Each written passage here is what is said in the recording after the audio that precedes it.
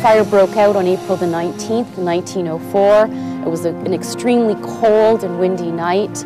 And it was first reported by, they believe, a Toronto police officer who was walking the beat in that neighborhood. And they pulled box number 12, and that alerted the Toronto Fire Department that the fire was in progress.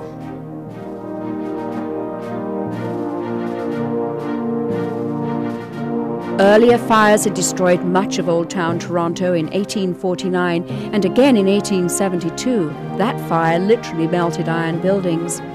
But it was the Great Fire of 1904 that erased 20 acres of the downtown financial district. And that fire burned for days and days. When it was finally put out, uh, $10 million in damage had been done. And luckily, no one actually perished in that fire.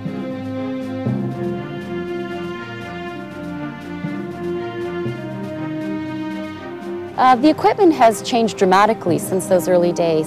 As of 1910, that's when horses and the wagon style of firefighting began to be phased out and motorized vehicles were beginning to be acquired. The steamer engines that were used in the early 1900s were also beginning to be phased out. The fire trucks of today have the ability to haul large quantities of water to a fire scene and have the pumping capacity to be able to spray that water long distances and in a much more powerful way.